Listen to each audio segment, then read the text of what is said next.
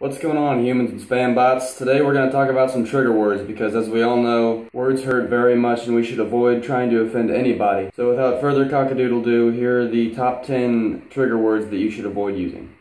Number 1, Redskin. Now I know there's a football team named after Redskins, but Redskin refers to Native Americans, and we took away Native Americans' land. And because of that, we're not allowed to refer to Native Americans. At all. It's too offensive. Honestly, think about how crass it is for a white person like myself to even mention Native Americans. Referring to them or even thinking about them is just going too far. Way too far. So the next time you want to refer to the football team in Washington, say the Washington diverse group of people whose land we stole. And remember how inherently racist you are, you white scum. Number two, feminism. Now I'm not talking about the movement, I'm just talking about the word feminism. Anything referring to the word feminine is absolutely sexist. You're implying that humans have gender. How could you be so closed-minded? Every time I hear somebody say that penises and vaginas define gender, and that men and women have a different psychological makeup, and biologically speaking we need males and females to reproduce as a species, all I'm hearing you say is, I'm a sexist pig. So when your child is born and you look at your spouse and you say, oh, look at our beautiful baby boy, Think twice about your word choice, you sexist, intolerant bigot. Third trigger word death. I mean, this one should just be a given, honestly. I mean, I know somebody that died, okay? And for you to even mention death is completely insensitive. Number four, cat. I'm talking about the animal here. You refer to that furry little animal as a cat, but you don't know what that thing identifies as. It can't talk. It can't tell you what it feels like. Deep inside its soul, that cat wants to be a beluga whale.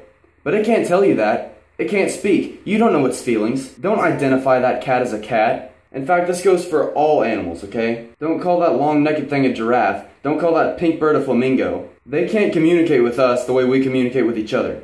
We don't know what they actually identify as. Stop naming animals. It's transphobic. Number five, black.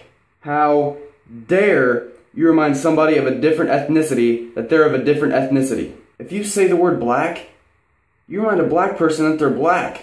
That is blatantly racist. Stop using colors to refer to people. And don't call them an African American either. They were born in New York, their dad was born in New York, their grandpa was born in New York. You calling them an African American implies that they were born in Uganda. So the next time you want to refer to a person of a different ethnicity, don't. I am so sick of us flaunting our white privilege in front of other ethnicities. In fact, the races should be separated. So I've created this concept called separate but equal, where whites can go to another school and have separate drinking facilities, have separate restaurants, separate bathrooms, so that we won't make anybody else feel uncomfortable.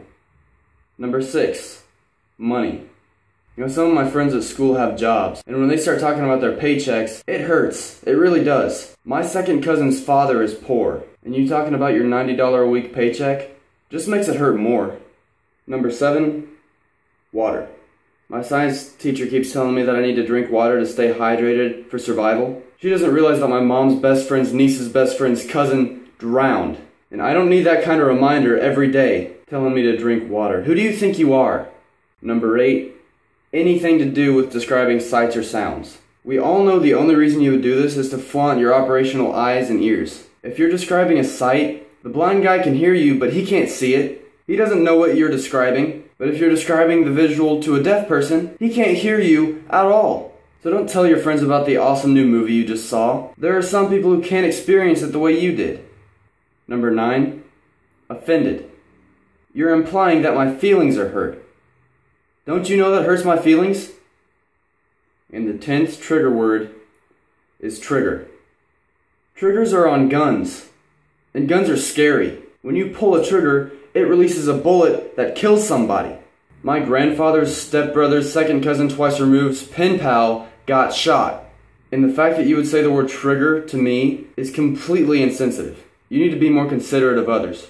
So the next time you think about saying anything to anybody, don't, you racist, sexist, xenophobic pig.